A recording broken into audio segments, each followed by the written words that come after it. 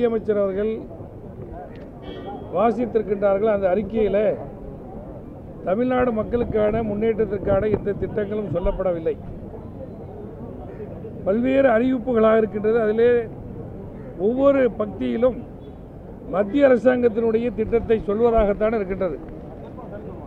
மத்திய அரசாங்கத்தினுடைய பல்வேறு திட்டங்களை குறிப்பிட்டு அதன் மூலமாக நாங்கள் செய்கின்றோம் என்று சொல்கின்றார்கள். எப்படி சென்ற வருடம் தமிழக அரசாங்கத்தினுடைய பட்ஜெட்டை மத்திய பாஜக ஆட்சியில் இருக்கக்கூடியவர்கள் தயாரித்து அதை ஒழுங்கு செய்திருக்கின்றார்கள் என்று எதிர்க்கட்சிகளின் சார்பாக நாங்கள் குற்றஞ்சாட்டினோமோ அதே போன்ற ஒரு நிலையைதான் இன்றைய இந்த வருடத்திற்கான நிதிநிலை அறிக்கையையும் இவர் வாசித்திருக்கின்றார்கள்.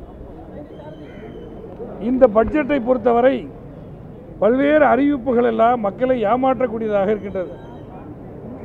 அவர்கள் சொல்லியிருக்கக்கூடிய கஜா புயலுக்கு இந்த அரசாங்கம் திறம்பட அனைத்து காரியங்களும் செய்துவிட்டதாக சொல்கின்றார்கள்.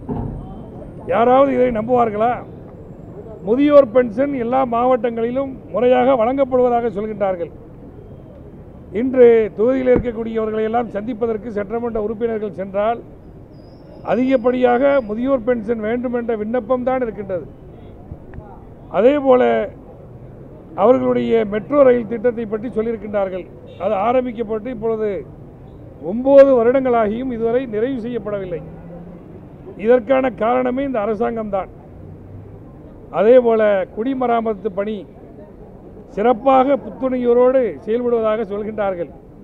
குடிமராமத்து பணி எங்கே நடந்திருக்கின்றது என்பதை பற்றி எதிர்க்கட்சிகளாக இருக்கக்கூடிய திராவிட முன்னேற்றக் கழகம் காங்கிரஸ் இந்திய யூனியன் முஸ்லீம் லீக்கின் சார்பாக நாங்கள் சட்டமன்ற உறுப்பினர்களுக்கே தெரியவில்லை. அரசாங்கம் ஒரு வெள்ளை அறிக்கை தாக்கல் செய்ய வேண்டுமென கடந்த ஒரு வருட காலமாக சொல்லி வருகின்றோம். ஆனால் அதை செய்ய வராத இந்த அரசாங்கம் குடிமராமத்து பணி சிறப்பாக நடப்பதாக சொல்கின்றார்கள்.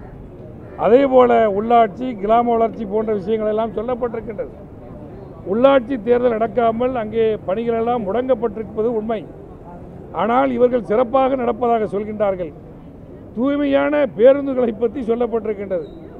அது தமிழ்நாடு தான் தூய்மையான பேருந்துகளில் முதல் மாநிலம்னு சொல்கிறாங்க தமிழ்நாட்டில் இருக்கக்கூடிய பேருந்துகள் இப்பொழுது எந்த அளவுக்கு ஓட்டை உடச்சியாக இருக்கின்றது என்பது மக்களுக்கு தெரியும்.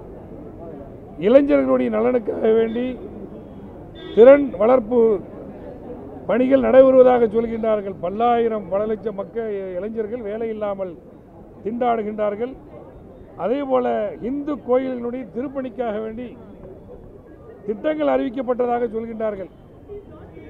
அந்த திருப்பணிகளுக்கெல்லாம் முழுமையாக இந்த அரசாங்கம் நிதி ஒதுக்குவதில்லை. பொதுமக்களுடைய நிதியை எதிர்பார்க்கின்றார்கள். பொதுமக்கள் ஒரு தொகையை கொடுத்தால்தான் இந்த அரசாங்கம் திருக்கோயிலுடைய திருப்பணிக்காக வேண்டி நிதியே ஒதுக்கின்றார்கள் ஆனால் இந்த திட்டத்திலே அவர்கள் பெரிய அளவில் செயல்படுவதாக சொல்கின்றார்கள். சுகாதார திட்டத்தை பற்றி சொல்லப்பட்டிருக்கின்றது. எத்தனை மருத்துவமனைகளிலே ஆரம்ப சுகாதார நிலையத்திலே சுற்றுச்சுவர் இல்லை டாய்லெட் வசதிகள் இல்லை பெண் மகத்துவர் இல்லை என்பதெல்லாம் நமக்கு தெரியும். ஆனால் இவர்கள் தவறான செய்திகளை இங்கே அடையாளப்படுத்தக்கூடியவர்களாக இருக்கின்றார்கள். அதே போல சிறுபான்மை நலனுக்காக வேண்டி மிக குறைந்த நிதியை வழ வழங்கியிருக்கின்றார்கள். பதினாலு புள்ளி தொண்ணூற்றி ஒம்பது கோடி தான் வழங்கியிருக்காங்க.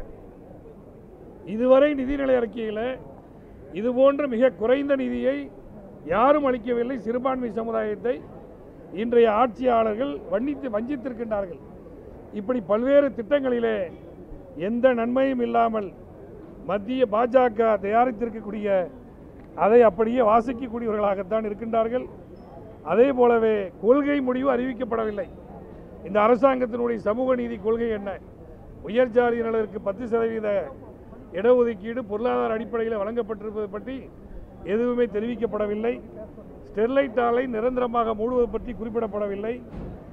அதே போல மத்திய அரசாங்கத்தினுடைய பல்வேறு திட்டங்களை அவர்கள் கோடிட்டு காட்டியிருக்கின்றார்களே தவிர எந்த பொதுவான திட்டங்களையும் சொல்லப்படவில்லை.